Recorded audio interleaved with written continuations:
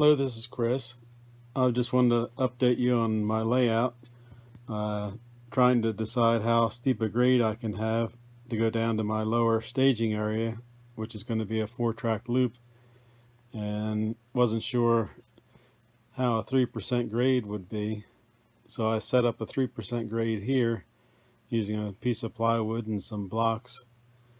And I have an old Lionel 2046 engine and it's connected to five MTH cars, passenger cars, and it is able to pull it up the 3% grade, which is straight, just a straight track here, without too much problem. It doesn't, it will slip if you try to accelerate too fast, but I'll show you what, how I only have about a foot to go to test it.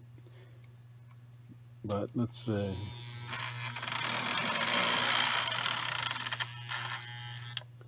See, if I take off slow, it doesn't even slip.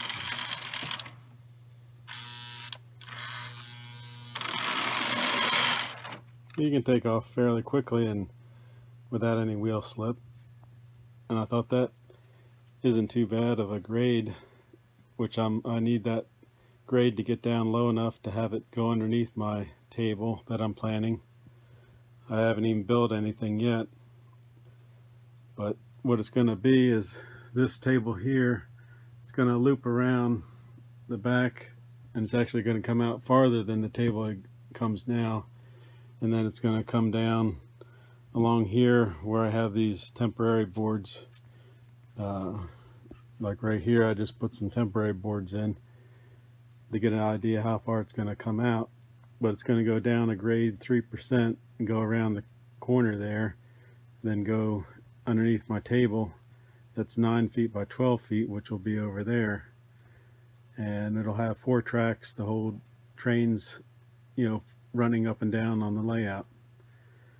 So this is just a demonstration on a 3% grade with a Lionel train with MTH cars.